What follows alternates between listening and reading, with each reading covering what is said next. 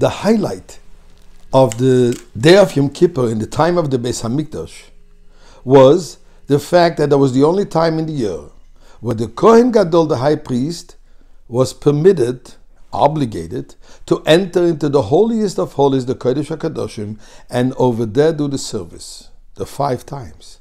Five, which corresponds to the five levels of the neshama, which on Yom Kippur shines even the highest one, Yechida, the highest level of the neshama, the uniqueness of the neshama, the uniqueness of the Jew, the oneness, the ultimate oneness of the Jew, shines on that day, and that's why he would enter into the Kodesh HaKadoshim. And we do describe this in the Musaf prayer of Yom Kippur. But there we find something which to me seems to be mind boggling. Where it says that after he exited from the Kodesh HaKadoshim, he came from behind the curtain. He would pronounce a short prayer and it says, Samach la close to the curtain. In other words, it's connected still to the inner chamber, to the paroiches. And what is he praying about? His prayer is what? Please God. Let the rain be on time.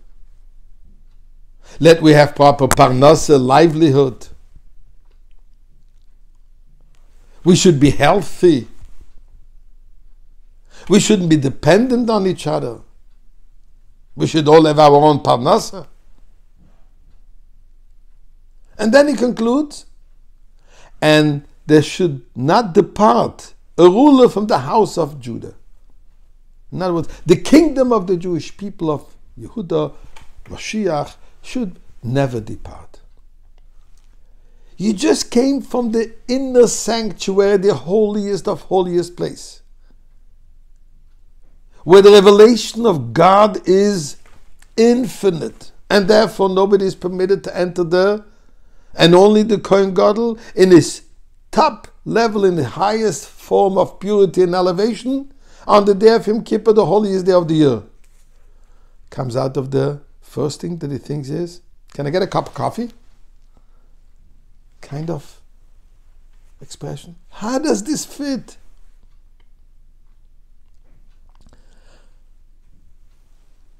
Two explanations. First of all, yes, indeed.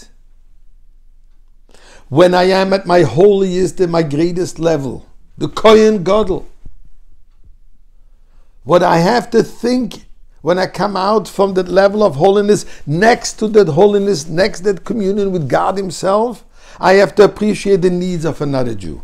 Yes, the simple physical, financial health needs of another Jew is what is samuch la paroiches, connected to the paroiches.